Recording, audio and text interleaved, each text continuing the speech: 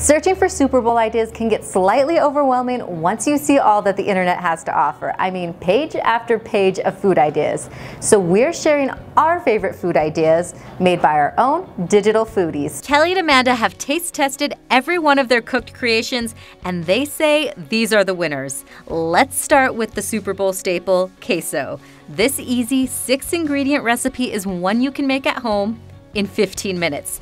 It uses real ingredients like cheese, milk, and flour, so you don't have to question what's in it, like I do with some stadium nachos.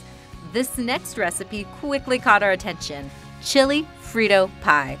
It's loaded with juicy chicken and warm spices, served over Frito corn chips topped with cheese, sour cream, and jalapenos.